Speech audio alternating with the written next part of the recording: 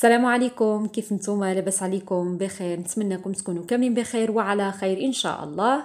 نصلي على النبي كيف ما العادة عن نبداو الفيديو اليوم. اللهم صل وسلم وبارك على سيدنا وحبيبنا محمد وعلى آله وأصحابه أجمعين.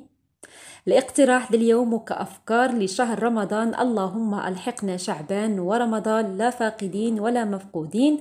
غادي نبداو في التحضيرات المعسلات وأول معسل اللي غادي نشارك معكم هو هذا المقرط. مقرط الشهداء اللي كيجي رائع لذيذ معلك وصحي وسهل في التحضير ديالو. هذا المقروط الأصل ديالو جزائري بواحد اللمسة آه، مغربية شوية. فكنتمنى يا ربي ينال الاعجاب ديالكم دابا ما نزيدش نطول عليكم أكثر. ندوزو نشوفوا المقادير وطريقة طريقة التحضير وكيف ما العادة فرجة ممتعة. بسم الله على بركة الله غادي نحتاج عندي هنا 250 غرام ديال اللوز يعني 4 كيلو ديال اللوز اللي مسحت له القشر ديالو مزيان ديك الغبرة اللي كتكون فيه. عملته في واحد الصينيه وغادي ندخلو الفرن فقط غير كيسخن شوية وصافي ما كنحمروش غير كيسخن باش كنقدروا نطحنوه. هانتوما كتشاهدوا معايا حتى اللون ديالو ما كيتبدلش. طبعا كنخليو اللوز ديالنا حتى كيبرد عاد غادي نبداو نطحنوه باش ما يخسرناش الماكينة ديالنا. كنبدا نطحن اللوز بحيث كنخليه آه، حرش شوية يعني ما كنطحنوش ناعم كيبقى شويش خشن بحال هذا الشكل هذا. فبالنسبة لهذا المقروط كيف ما ذكرت معكم في الأول الأصل ديالو جزائري الأخوات الجزائريين كيحضروه فقط غير باللوز. أنا غادي نضيف له واحد المكون اللي كيخلي هذه الحشوة تجي معلكه وكتكون صحية أكثر صافي هنا غادي نكمل الكمية ديال اللوز ديالي اللي عندي كاملة ديك 250 غرام.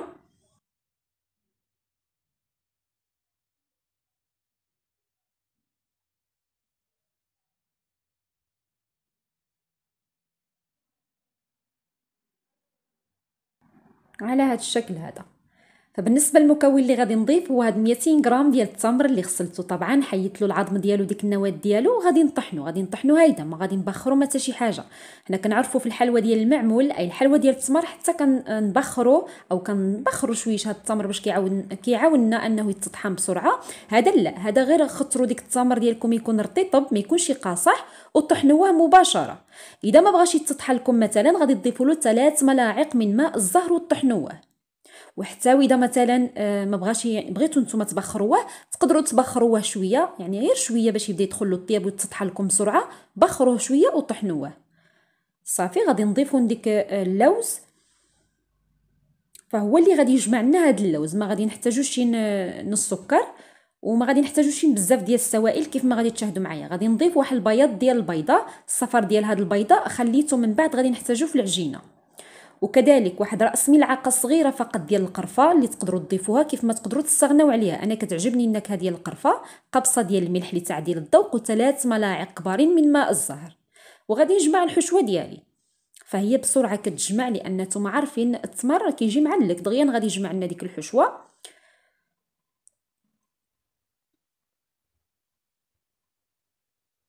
صافي هنا من بعد ما دخلت المكونات مزيان مع بعضيتهم.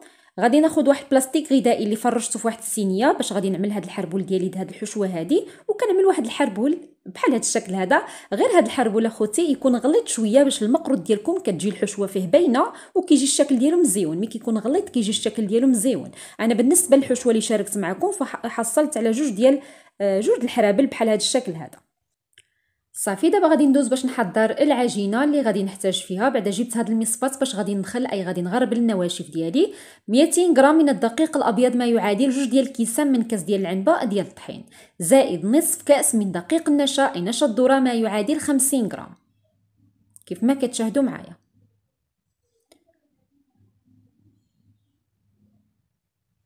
غادي نضيف قبصة ديال الملح الدقيق ديالي. وكذلك عندي هنايا ثلاث ملاعق كبارين من الزبدة. آه، الملعقة كتكون عامرة مزيان ما يعادل 90 غرام. يعني كل ملعقة كتوزن 30 غرام. استعملت ثلاث ملاعق من الزبدة اللي ذوبتها وهذا الصفر ديال البيضة اللي قلت لكم غادي نحتاج في العجينة. وهنا عندي الماء الزهر اللي غادي نجمع به العجينة ديالي. أنا في الأول كنت عملت فقط ربع كأس ديال الماء الزهر ما يعادل 50 ملل ولكن ما غادي يكفانيش غادي نضطر نزيد كمية أخرى حتى تجمع لي العجينة ديالي. المهم نتوما غادي تعملوا واحد نصف كاس ديال الماء الزهر قدامكم واحد 80 ملل أو 90 ملل ديال الماء الزهر وتبداو تجمعوا العجينة ديالكم. القوام ديال العجينة أنا غادي نشاركو معكم. ها نتوما كتشاهدوا معايا هنايا زدت واحد الكمية أخرى.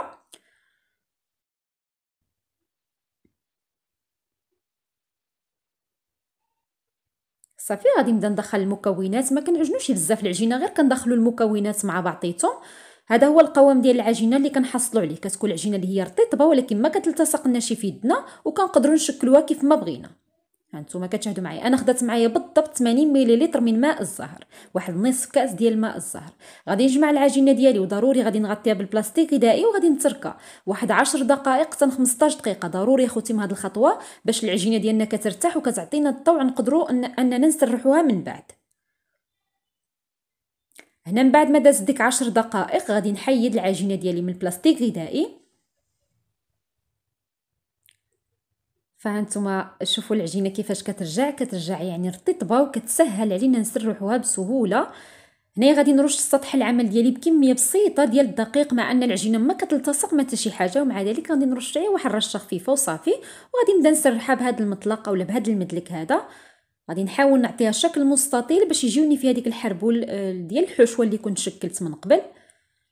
صافي والسمك ديال العجينة فما كتكونش رقيقة بزاف وفي نفس الوقت ماشي غليظة. بحال هذا الشكل هذا ما نخليوهاش يعاود رقيقة بزاف باش ملي نجيو نلويو العجينة على الحشوه ما تقطعناش. غادي نجيب ديك آه، الحربول اولا ديك الحشوه اللي حضرت معكم من قبل وغادي نعملها فوق العجينة ديالي. صافي على هذا الشكل هذا. وغادي نغطي الحشوة ديالي بالعجينة غادي ندور عليها العجينة دورة ونصف يعني واحد الدوره آه، حتى كتغطى الحشوة.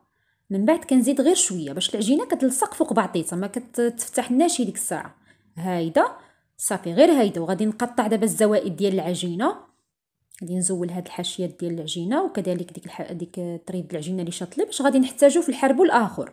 بالنسبة لهاد العجينة خوتي أنا جاتني حده قده كيف كنقولوا حنا جاتني هي هذيك مع الحشوة. الحشوة أنا ديالي عملتها غليطه نتوما إذا بغيتو تعملوا الحشوة غير رقيقة باش تحصلوا على كمية كثيره ديال هاد المقروط هذا غادي تعملوا الحربول ديالكم ديال الحشوة رقيقة. مع انها أنا كنصحكم الحشوة تكون غليطة باش المقروط كيجي مزيون كتجي الحشوة باينة. إذا كنتو نتوما غادي تعملوا الحشوة غير رقيقة يعني بغيتو العجينة تكون كثيره غادي تزيدوا من الكمية ديال العجين غادي تعملوا ثلاثة ديال الكيسان من الدقيق ما يعادل 300 غرام. في العجينة كنهضر. زائد كأس مملوء من دقيق النشا ما يعادل 100 غرام. وغادي تزيدوا الكمية ديال المزهر حتى تجمع لكم العجينة ديالكم باش تحصلوا على كمية كثيرة ديال العجينة. هذا إذا كنتو نتوما غادي تعملوا الحشوة. ديك الحرب الحشو ديال الحشوة رقيق. صافي هنا من بعد ما غطيت الحشوة ديالي بالعجينة كنبدا نعوض الحربول ديالي بحال اللي كنزيد نرققو شوية باش كتلصق عليه العجينة مزيان. كنعوضو كنضغط عليه من الفوقي باش كيجوني ديك المعينات الشكل ديالو مزيون وغادي نبدا نقطع. فبالنسبة للحجم ديال هاد الحبات ديال المقروط كيبقى لكم نتوما الاختيار بغيتوهم صغارين أولا كبارين على ديالي أولا عملوهم غير بحال هيدا متوسطين. هذا هو الحجم اللي غادي نعتمد أنا بحال هيدا. فأنا هنايا قطعت عيني ميزاني كيف كنقولوا بغيتو نتوما تاخذوا ديك الحبة وتعبروا عليها فكيبقى لكم الاختيار. غادي نجيب واحد بلاستيك غذائي أخوتي ضروري كنعمل فيه جميع الحبات كنخلي حبة وحدة اللي غادي ننقش.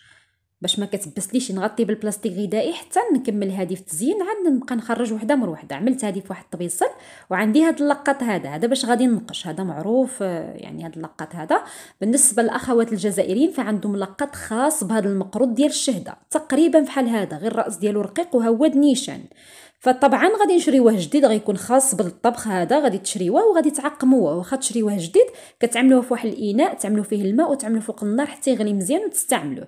خديت الحبة ديالي عملت لها هاد القريصات بحال اللي شاهدتوا معايا. وفي الصف الثاني كنعملوا الخطوط اللي هي معاكسة. كنجيو فوق هذا المربع وكناخذوا العجينة وكنقرصوا عليها.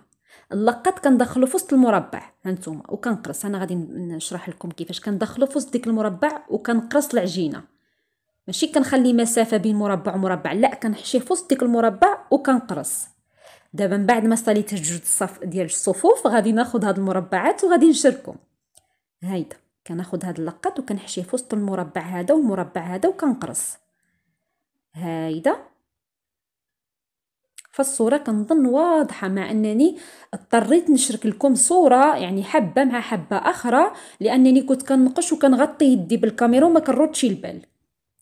صافي غادي نستمر بنفس الطريقة اللي وريتكم. غير هو اللقط كنحشيوه في وسط ديك المربع وكنجبدو. والخط الأولاني الخط الثاني كيكون معاكس مع ديك الصف الأولاني. يعني المربع آه، ديك الخط هذا كيكون فوق المربع. باش تقريبا كتجينا الشكل د الشهدة وصافي وأنا هنا تعمدت أن اللقط ديالي كنضغط عليه حتى كيوصلني الحشوة. باش كيبقاو لي ديك المربعات كتبان منهم الحشوة باش من بعد ملي نعمل الحبة ديالي في العسل ديك العسل كتدخل في وسط ديك الثقوب وكتعمر بالعسل والعسل كتدخلنا في وسط الحشوة. فأنا هنا اضطريت أنني ديك المربعات ها نتوما كتشاهدوا معايا كنضغط على اللقط باش بحال اللي كنبين ديك الحشوة من ديك المربعات. كنضغط عليه حتى نتاحت يعني حتى ديك حتى كيوصل لينا الحشوة. فغير سمحوا لي كنهضر بزاف ولكن كنتمنى كنتمنى يعني نكون كنشرح مزيان وصافي. بالنسبة للاخوات اللي كنجيهم كنهضر بزاف فسرعوا الفيديو وشوفوا غير المقطع اللي بغيتو. غادي نستمر بنفس الطريقة اللي وريتكم في الأول لأن في الأول كانت الصورة واضحة هنايا بحال اللي كنغطي عاو بيدي. كنمشي هيدا هيدا من بعد كنشرك ديك الخطوط. انتما عاودوا هذا المقطع إذا ما فهمتوش عاودوا هذا المقطع بزاف وغادي تفهموا الطريقة اللي هي سهلة سهلة خوتي بزاف. وهذا اللقط صراحة مزيون النقش ديالو نقدروا نستعملوه حتى في يعني ب... أنا كنهضر على الأخوات اللي هنايا يعني في في الغربة يعني ما كنجبروش اللقط اللي كنقشوا به ديك اللقط بالنقش. فتقدروا تعتمدوا هذا تشريوه جديد وتخليوه النقش تنقشوا به حتى الحلوى التمر أي المعمول يجي مزيون. هيدا يعني نمشيو غير بالخطوط هيدا. واحدة جهة مايلة واحد جهة أخرى هيدا وصافي. صافي هذه الحبة ديالي كيجي تقريبا الشكل ديالها بحال الشهدة. انتما مهم أنا عملت الجهد ديالي نقشتها يعني كيف ما جات مهم جات مزيونة. ما جاتش بحال الأصل ديالها كيفاش كتجي ولكن مهم ما بهاش. هذا هو الشكل ديالها. في هذا الأثناء أخوتي كان عندي الفران ديالي كيسخن على درجة حرارة 180 درجة. غادي ندخل الصفيحة ديالي في الوسط ديال الفرن النار من الأعلى ومن الأسفل. درجة الحرارة 180 درجة. نخلي الحلوه ديالي حتى تحمر هذه الأثناء هي غادي نخليها طيب غادي نحضر العسل باش غير نخرجها ساخنة من الفرن نعملها في العسل. ضروري تخرج ساخنة من الفرن نعملوها في العسل باش كتشربنا العسل. العسل ما كنسخنوه ما كنسخنوه ما والو. في أي نوع ديال المعسلات العسل ديالنا خصو يكون ثقيل باش كيشبرنا في أي نوع ديال المعسلات. ما كنسخنوهش. هانتوما كتشاهدوا معايا المقروط ديالي من بعد ما تحمر وخرجته من الفرن فهنا غير الإضاءة ما هو كيجي محمر على هيدا غير الضوء ما بينوش ديك التحميرة اللي جات. فيه كنعملو في العسل وكنبدا نقلبو. ويستحسن أخواتي ملي تعملوه في العسل تخليوه على الأقل على الأقل واحد نصف ساعة هو في العسل باش كيتشرب ديك العسل على خاطرو حتى بحال اللي كيبرد في ديك العسل. وكيجي معلك من داخل كيجي معلك بالعسل. وكيف ما شاهدتوا معايا الطريقة ديالو كتعتبر صحية ما فيها حتى شي حاجة غير صحية حتى النوعية ديال العسل إذا بغيتو تستعملوا نوعية اللي هي جيدة يعني عسل حرة فكيبقى ديك الساعة مقروط اللي هو صحي 100% ما قليناه ما استعملنا فيه زيت ما حتى شي حاجة. هنا من بعد ما خليته مزيان تشرب ديك العسل عملته في واحد المصفاص باش كيهود ديك العسل الزائد اللي كيكون فيه وغادي ناخذ هاد الكؤوس الورقية وغادي نعمل كل حبة في واحد الورقة فهذه فقط للتزيين وصافي. وبالنسبة واش يمكننا نحتفظوا به فطبعا نقدروا نحتفظوا به. في المجمد كيقدر يبقى حتى لشهر آه يعني ما كيوقع له حتى شي حاجة. كناخذوا تعملوا الكمية اللي بغيتو بغيتو تضاعفوا الكمية تضاعفوها. كتاخذوا شي علبة كتعملوا واحد الطبقة ديال هذا المقروط وتغطيو بالبلاستيك غذائي وتعملوا الطبقة الثانية وتعاودوا تغطيو مزيان. وتدخلوا العلبة ديالكم للمجمد كيف ما ذكرت معكم كيبقى حتى لشهر ما كيوقع له حتى حاجة. نهار اللي كتبغيوه كتخرجوا الكمية اللي بغيتو كتخليوها تطلق راسها يعني كديسكونجيلا وكتستعملوها كيبقى بحال اللي عملتوه أول مرة حتى العسل كيبقى فيه شابر. هذه هي الحبات ديالي نتوما شاهدتوا معايا ديك التقيبات كيفاش عامرين بالعسل كيجي المنظر ديالهم رائع جدا. غادي نقسم معكم طبعا وحدة كتجي كتذوب في الفم معلكه بديك التمر. فكنتمنى يا ربي الوصفة اليوم تكون نالت الإعجاب ديالكم والإستحسان ديالكم. إذا عجبتكم ما تنساونيش كيف ما العادة بلي لايكات ديالكم والتعاليق الجميلة اللي كتركوا لي نضربكم موعد حتى الفيديو اللي ما إن شاء الله. تهلاو لي فراسكم وبسلامة.